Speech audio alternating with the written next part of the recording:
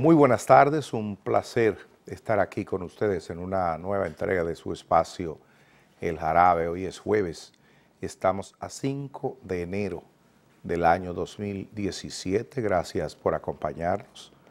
Como siempre, bueno, quiero agradecer a, a Edith Febles que ayer me sustituyó. Tuve una diligencia personal y ella me sustituyó como siempre lo hace con, con mucho amor. Muchas gracias, Febles, públicamente. Y gracias a ustedes que siempre apoyan este programa conmigo o con Febles. Muchísimas gracias. Como siempre, gracias a la gente que nos ve por internet en cualquier parte del mundo eh, a través de teleradioamerica.com. Igual para la gente que nos ve en Estados Unidos, Canadá y las islas del Caribe a través de televisión dominicana. Gracias para los que nos ven por YouTube y, por y los que nos escriben. mzapete.gmail.com es mi correo electrónico y a nuestros seguidores en la cuenta de Twitter, arroba mzapete. Para todos ustedes, pues, me siento muy honrado y feliz de poder compartir una nueva entrega del jarabe con ustedes. Voy con el director y regreso de inmediato.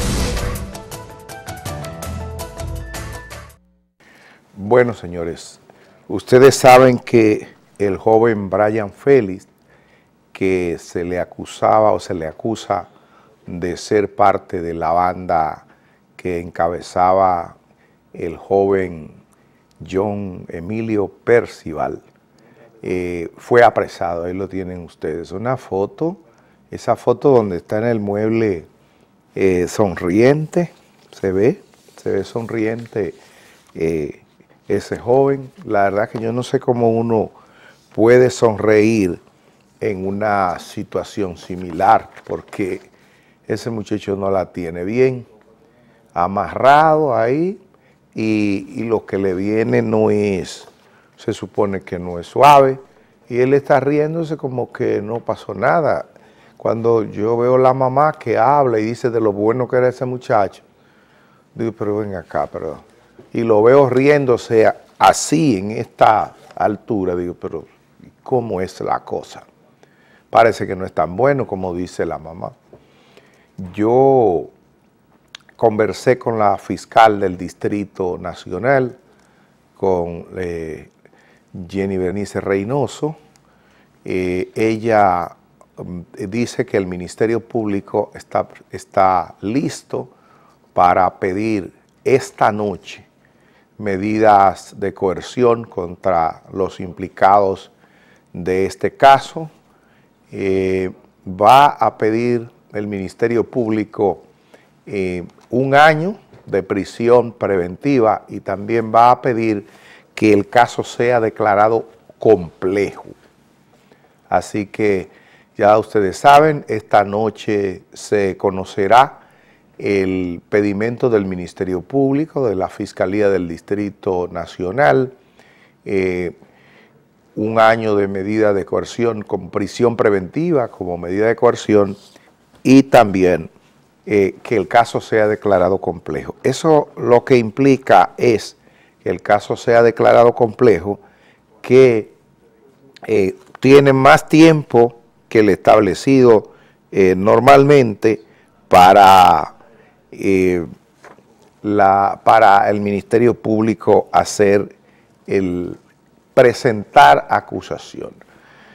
hay un videito ahí que lo subió el periódico El Nacional, donde hay algunas damas que cuentan cómo, cómo fue apresado este señor. A mí me gustaría compartirlo con ustedes. Sí, todo, todo y eso, ahí, la policía le dio una patada y rompieron eso ahí. Sí. Pero yo me levanté cuando yo veo esto, digo, Dios mío, ¿qué? Eso, eso estaba lleno de policía. ¿Y lo agarraron él solo? ¿Eh? ¿Él estaba solo? No, ella andaba con, con la mujer esa que siempre salía por la televisión, con la morena. La morena fue la que salió, la que yo vi que salió de ahí. De ahí a él. Después dio la vuelta por ahí atrás.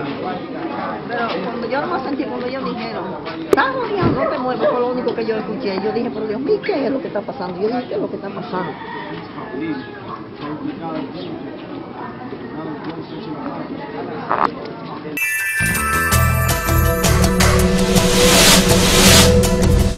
Bueno, hay muchas especulaciones. Hay un mayor del ejército de la República Dominicana que está preso y que dicen que era el que suministraba las armas al grupo de Percival. Hay mucha gente que por lo bajo está implicado. El padre de John, Percival, de John Percival está ingresado en el hospital de las Fuerzas Armadas. Eh, sufrió un desmayo ayer mientras visitaba la oficina de migración. Eh, hay que decir que Rafael Percival, que es eh, general retirado, tuvo tratamiento médico no hace mucho tiempo, una cirugía en, la cabeza en Estados Unidos. y obviamente eh, tiene mucha presión porque se han comenzado a divulgar conversaciones telefónicas por ahí que aparentemente dan cuenta de que él eh, conocía, sabía del, paradero de su hijo. parece que tenía como conocimiento según esas conversaciones. Entonces es lógico que con todo lo que ha pasado, Percival, que también es hipertenso, eh, no, no esté muy bien de salud. Esta noche, medida de coerción, el Ministerio Público va a solicitar un año de prisión preventiva y va a solicitar que el caso sea declarado complejo y creo que el juez que vaya a conocer esa solicitud de medida de coerción va a atender positivamente el, el pedido que va a hacer el Ministerio Público. Voy a cambiar de tema y me voy a ir a Turquía. Quiero mostrarle un videito de lo que ha pasado hoy en Turquía. Eh, vamos a ponerle el video si lo tienen con su audio.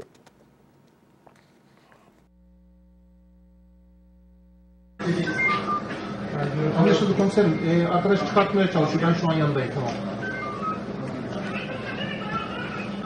Görüntü var mı diye soruyor komiserim. Olay yanında.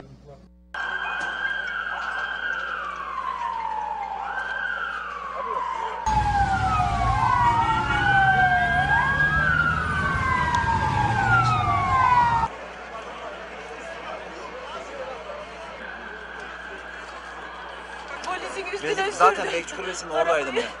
Bir tane siyah bir Broadway'e geldi. Ondan sonra hemen apar topar vurdu polis memuruna arabayla. İçinden çıktı, elindeki bombayı patlattı. O esnada ben de zaten hemen o kulübenin oradaydım. Koşturdum, şu marketin içine girdim, restoran içine girdim, yattık. Ondan sonra zaten olan oldu. Yaralıları gördük. Herif- Polisi çarptı mı dediniz araba? Evet polise çarptı. Alo. Adliyenin girişinde patlama olmuş bak. Yanıyor ön tarafı. Abi yani atışıyorlar.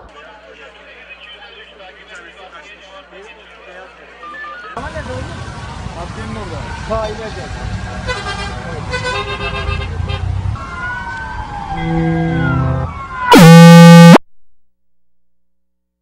Ese video lo trae el periódico español El País. Hay varios videos sobre lo que ha ocurrido y hay gráficas, fotografías de qué es lo que ha ocurrido. Es increíble la situación que está viviendo Turquía.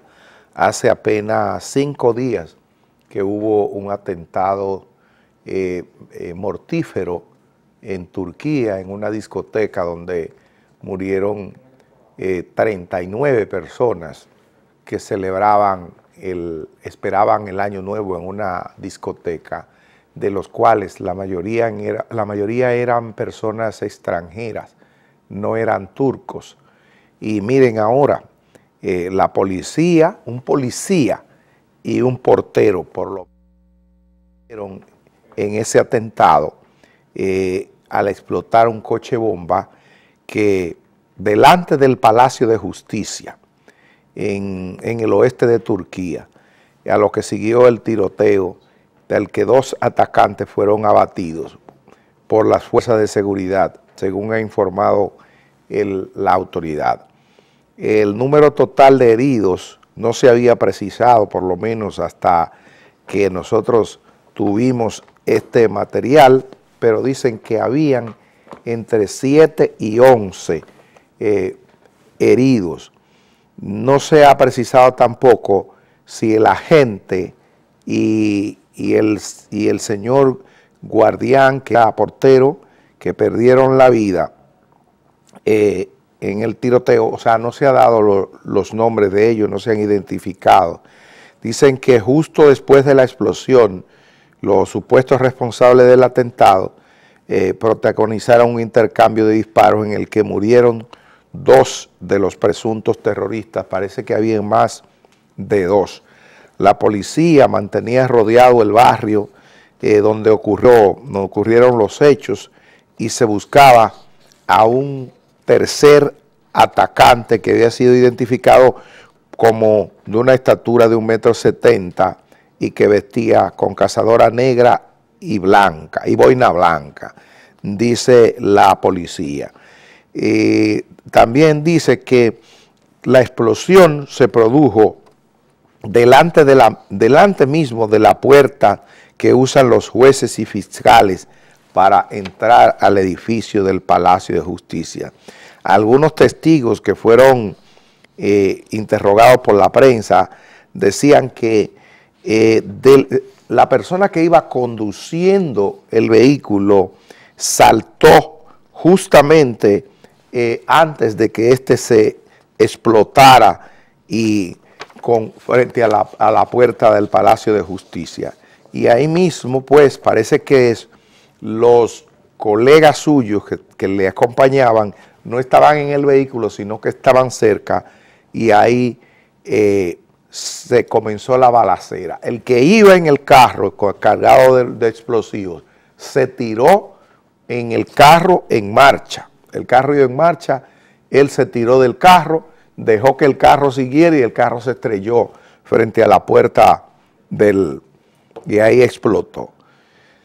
Eh, es increíble lo que está pasando en Turquía, el nivel de, de violencia con que están atacando a aquel país. Quiero venir aquí al territorio nacional con algo que me da pena. Yo he sido amigo de Nuria Piera por más de 20 años. Eh, tengo mis diferencias con Nuria, pero siempre le he tenido cariño, y, le he tenido respeto. Nuria tiene un temperamento bastante eh, fuerte y, lo, que ha pasado aparentemente en CDN es fruto de ese temperamento. Sin embargo, yo creo que no, no tiene razón Nuria Piera el Colegio Dominicano de Periodistas ha calificado de intolerante y desconsiderada la actitud de Nuria, que es la directora de CDN, porque ha cancelado a un periodista porque éste ha reclamado mejores condiciones laborales. El periodista Leighton Mejía había pedido, eh, se había quejado de un vehículo que le dieron, ustedes van a escuchar el audio, y eh, Nuria lo votó.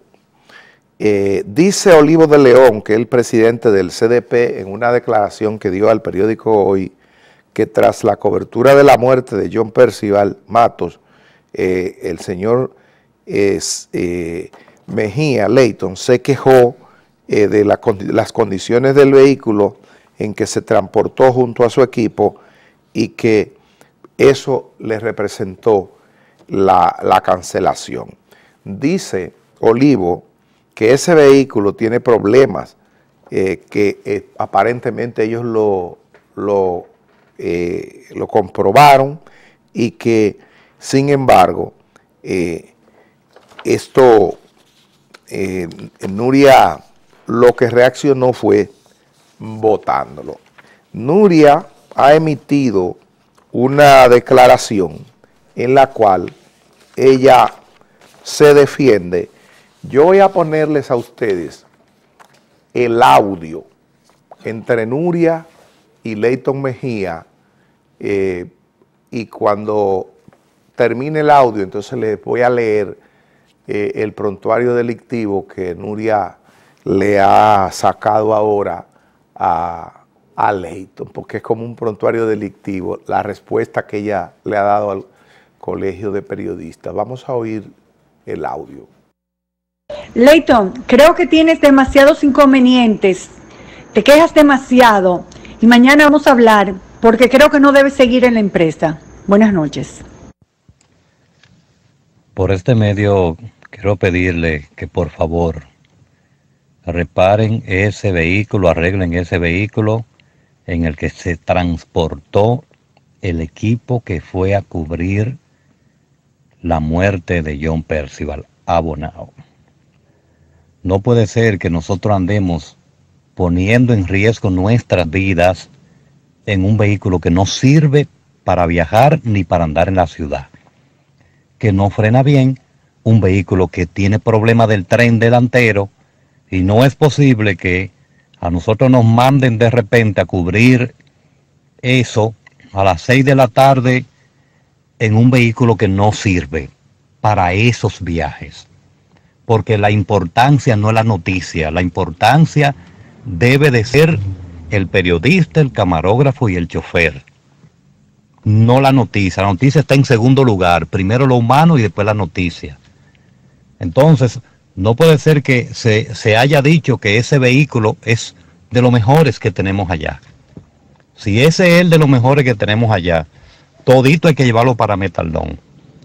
No puede ser. Yo le envié un video a Albanelli de cómo nosotros íbamos en esa autopista Duarte, lloviendo, y el vehículo tirándose para el lado izquierdo, y se ha reportado varias veces, ¿verdad? El chofer me dice que lo ha reportado, eh, y ese vehículo sigue en las mismas, totalmente incómodo. El único bueno que tiene ese vehículo es el aire.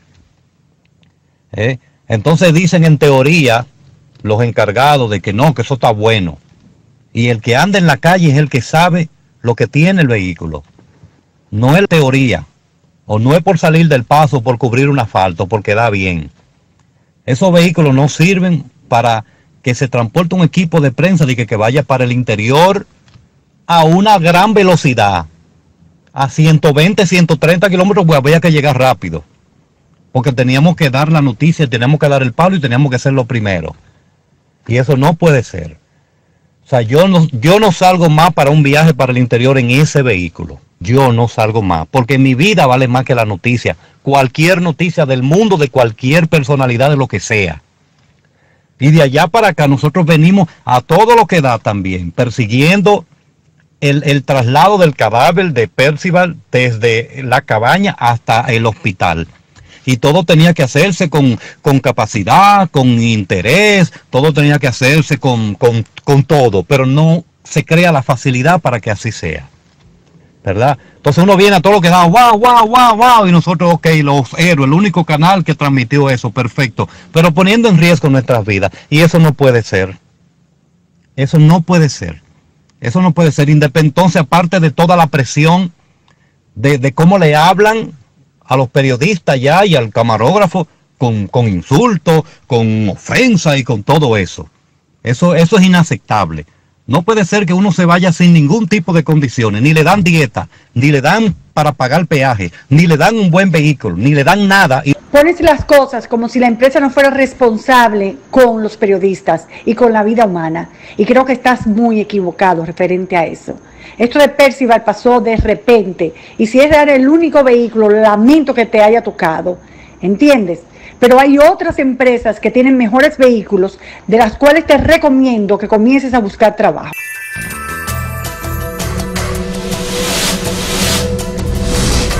Bueno, ese diálogo, aparentemente o no aparentemente, eso es un chat interno que tienen en CDN, donde se hablan por ahí, el audio. Cuando Leighton eh, terminó en la noche, mandó su audio, Nuria inmediatamente le dijo, bueno, ya ustedes vieron lo que le dijo. Entonces, después ya volvió y le respondió. Eso fue en un chat interno. Nuria es así, de intensa, eh, y yo pienso que si ella quizá hubiese dejado pasar el día y al otro día se hubiese reunido con Leighton, posiblemente, por lo menos ese audio no anduviera ahí. Entonces, tengo acá la declaración de, de Nuria, la respuesta que ella da al colegio de periodistas. Voy a leerles algunos párrafos porque lo que ha hecho Nuria aquí se parece mucho a lo que hace la policía cuando matan a alguien en un supuesto intercambio de disparos, que le hacen un amplio prontuario delictivo. Voy a leerles esto, que es la declaración de Nuria. Dice que CDN ve con preocupación las dimensiones que ha tomado la cancelación del periodista Leighton Mejía, queriéndose argumentar alegada intolerancia de la directora Nuria Piera. Esta información no se corresponde con la realidad. Para entender lo acontecido es necesario que se sepa que el señor Leighton Mejía sí describió una actitud de intolerancia en sus compañeros, sí exhibió una actitud de intolerancia con sus compañeros de trabajo desde que ingresó a la empresa en enero del 2016. En apenas 11 meses hubo que cambiar a los seis camarógrafos que componen el staff del turno tarde-noche, porque con ninguno de ellos pudo acoplarse y congeniar. Nos referimos a los camarógrafos Yariel Román, Aneudi Jiménez, bueno, la cosa es, todos estos camarógrafos, ella da los nombres, todos estos camarógrafos sin excepción clamaban para que no los enviaran a servicio con Leighton Mejía, dice la nota de Nuria. Fue muy lejos el periodista Leighton cuando por su intolerancia y su queja extrema hizo cancelar al camarógrafo Yariel Román. Bueno, la cosa es que hay un, una larga historia que dice Nuria aquí, que tenía Leighton eh, en su respuesta que da al Colegio de Periodistas que la acusa de intolerancia. Eh, esto para mí no se justifica este tipo de defensa, porque si una persona, si un empleado tiene todo lo que le acumula Nuria aquí y no lo han votado, oye, entonces, mínimo es Manuel Estrella, mínimo es el dueño de la empresa. Porque todo lo que se dice aquí que este señor eh, hizo en 11 meses, que duró, entonces eh, él tenía que ser Manuel Estrella para que no lo votaran. Pero suponiendo que el hombre fuera incómodo como se hace, es obvio que en el intercambio del video, Nuria sencillamente, cuando el tipo dice en el chat que el vehículo no sirve, que es un chat interno, que no era un chat eh, eh, colectivo, eh, digo colectivo sí, pero de la empresa, ella le dijo, ya tú no cabes en la empresa. O sea, es obvio que hay ahí intolerancia y al margen de mi amistad con Nuria y todo, yo creo que cuando uno eh, hace el periodismo que ha hecho Nuria eh, y cuando uno tiene la imagen que ella tiene, no debe atropellar de esa manera a un periodista. Nuria no es la primera vez que Nuria trata así. Nuria le ha dicho, le dijo a una periodista en un momento, vete de mi canal, porque ella, porque la periodista, eh, porque la periodista subió una fotografía, se dice que fue por eso la periodista dijo eso, una fotografía del embajador de Venezuela, algo así, en el momento en que Nuria tenía una confrontación con el embajador de Venezuela. Entonces, a la gente hay que tratarla con, eh, con respeto. Lo que dice Leighton ahí, lo que hay que investigar si el, si el carro está así y si él dice la verdad. Por eso no se puede votar a una gente. Y lo dijo en un chat interno. Entonces, yo no me puedo quedar callado con eso. Tengo que decirlo. Así que, si ese es el problema, o sea, lo que pasó en ese audio, yo que no conozco, nunca he visto a Leighton Mejía, no lo conozco, ni he hablado nunca con él, pero le expreso mi solidaridad y creo que Nuria, exactamente como dice el Colegio de Periodistas, cometió un acto de intolerancia. Y yo le agrego de arrogancia, de prepotencia, se lo agrego yo. Vamos a la pausa y regreso de inmediato.